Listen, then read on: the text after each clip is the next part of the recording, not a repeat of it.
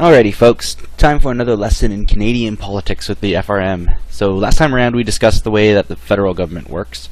Uh, this time we're going to go down a step and talk provincial politics. So we're going to look at how different provincial governments are broken down, uh, the makeup of provincial governments, the differences and similarities between the federal government and provincial government, how the Queen is represented in provincial politics because she's involved in everything we do, uh, how the separation of powers between the different levels of government work, um, and once again, in the interest of clarity, I'll refer to the federal government generally as the feds.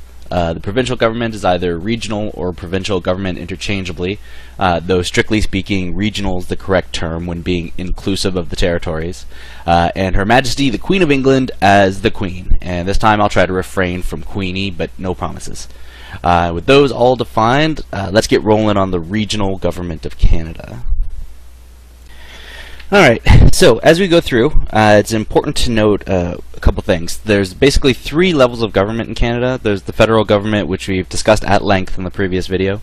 Uh, there's regional governments, which we're going to discuss here today, and local governments, which basically refer to municipalities and that sort of thing. Uh, there's 10 proper provincial governments in Canada, one for each province in Canada, obviously. Uh, those being British Columbia, uh, Alberta, Saskatchewan, Manitoba, Ontario, Quebec, Newfoundland, and Labrador, uh, home of Screech, by the way, the best rum you will ever drink in your entire life, uh, Nova Scotia, New Brunswick, and Prince Edward Island. Uh, each province has a House of Assembly, which is in essence like a provincial House of Commons, uh, made up of a number of MPPs, or members of provincial parliament. Uh, they're proportionate to the populations of the area, but for the sake of precision, we'll name them all out here.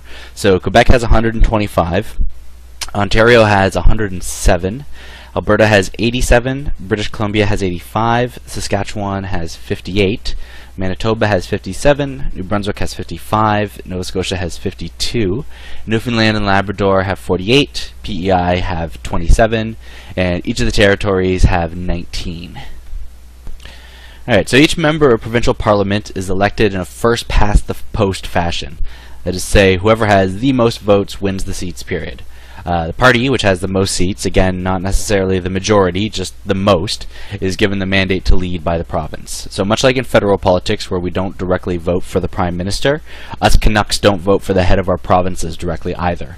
Uh, what happens is the head of the party, who has to be a sitting MPP, uh, that wins the most seats in the province is made premier of the province. And the premier is basically chief muckety muck of the province, and depending on whether or not they have a majority government, uh, that is to say, has more than half the seats of his party in the House of Assembly, uh, or a minority government has more seats than any other one party but not the majority, uh, will determine whether or not he'll be able to push through legislation with the ease that Donkey Kong can huck a barrel, um, or have to fight for every inch of political ground gained.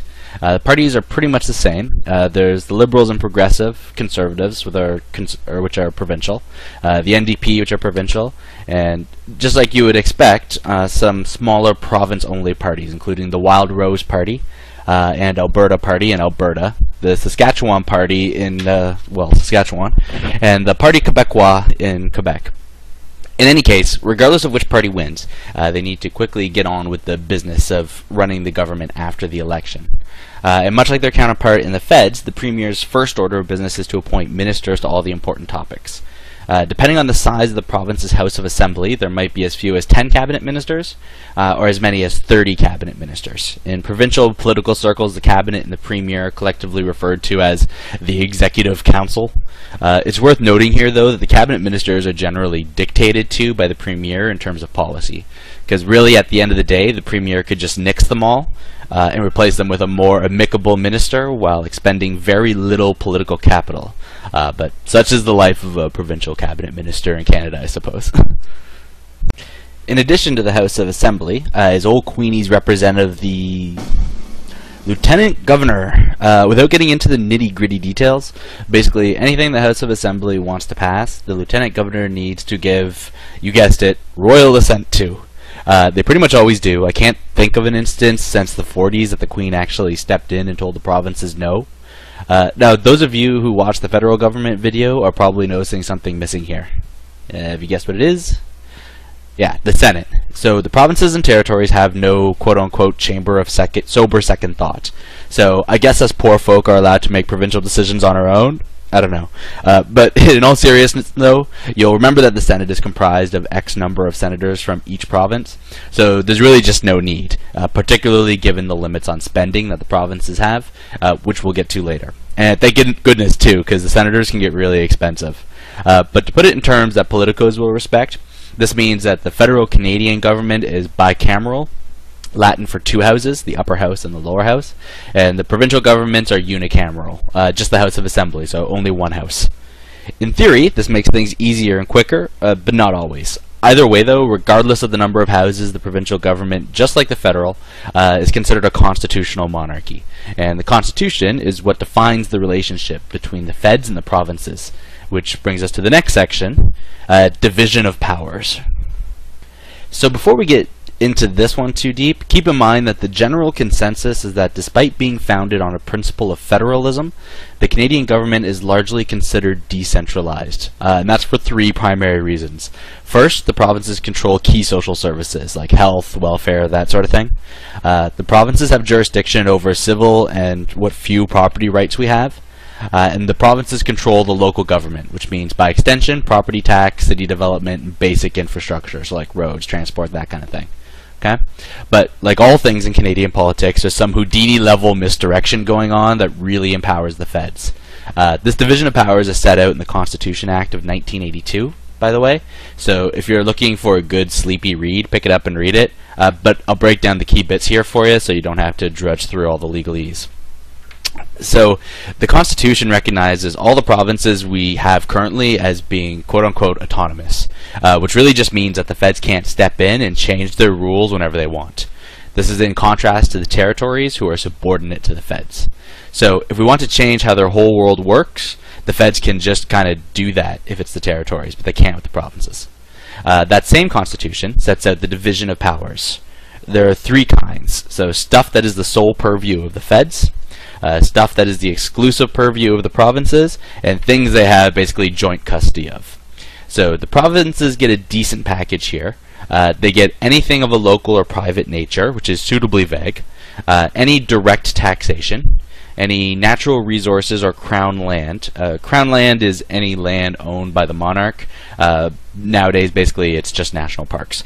Uh, healthcare and pretty much everything related to that. Uh, co-ops and savings banks, uh, administration of justice, which is why we have provincial courts, inter-province transport and business welfare, uh, education, and uh, quote-unquote local works, which is another ill-defined term which is used as a pretty decent catch-all. Uh, so not bad overall, but the feds come firing back with quite a few doozies of their own, and here's some of my favorites. So any form of taxation, banking and currency, foreign affairs, which ironically includes relations with First Nations people, uh, criminal law and penitentiaries, militia and defense, and the three all-time favorites, I get to do whatever I want items.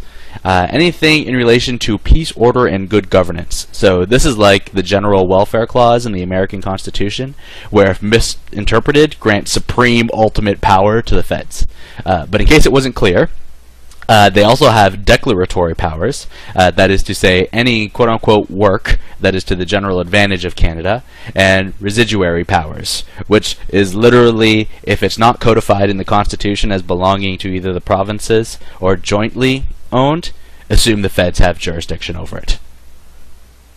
Finally, the Constitution says that they get joint say over three things immigration, agriculture, and pensions, but not old age pensions, those are the Fed's sole purview. Uh, so in short, if it's not listed as being joint or provincially controlled, it's controlled by the feds. If there is doubt over who would get control over something, assume the feds get it. So when you hear all this spin about how the government of the current day is trying to centralize power in the federal government more than has ever been done before, let us set the record straight. These powers were laid out in the Constitution Act of 1982. And unless I magically somehow forgot my prime ministers, that puts the blame for centralized power at the feet of one Prime Minister, Elliott Trudeau, who was Prime Minister from 79 to 84. So love it or hate it, he's the guy that did it. But wait, it gets better, there's more. So, aside from having limits on what they can legislate and the Fed's ability to stop and take over provincial powers through the Governor General, uh, there's one more thing that is super important when discussing provincial politics. And that, my friends, is the almighty dollar. At the end of the day, what a province can do is limited by money, and the feds simply have more of it. And interestingly enough, there is no rules against the feds giving the provinces money, and also no requirement for them to do so. Uh, what this does is creates a very powerful lever that the feds love to use. It, it, works like this. So the provinces have a grand idea. Let's call it, for the sake of argument, healthcare. Okay. Problem is they don't have the money they need. So they go to the feds and say, "Hey, Mr. Boss Man, sir, ma'am, could we have some money for this thingy we want to do?" And the feds go, "Sure, kiddo, but you got to do it like this, with these stipulations, or no soup for you." And provinces say, "Well, I'm not sure that no soup," say the feds, and eventually the provinces get in line. Uh, they do what they're told and they get their money. The most hotly contested piece of legislation like this is the Canada Health Act, because uh, it needs billions of dollars from the feds to function, and so the feds have managed to get something akin to supreme ultimate power uh, over healthcare, even though it is strictly a provincial issue. Good old money. See? Money talks and poorly written constitutions walk. That is the lesson learned from this, I suppose. Alright, folks, so let's sum up. Provinces elect a number of MPPs to the General Assembly. The party with the most MPPs is given the mandate to govern, and the leader of that party becomes the premier of the province. The provinces are autonomous, so long as they don't want federal money or try to touch legislation not on their list, and the Queen still has her royal scepter up in our business provincially. Uh, and that's pretty much it um, for today, folks. I hope I was able to dispel the fog of politics for you a little bit more. Uh, remember, keep yourself involved, folks. The future is pretty much counting on you in order to make sure we don't mess it all up. So you guys have yourself a great day, and I'll talk to you guys again later. I train all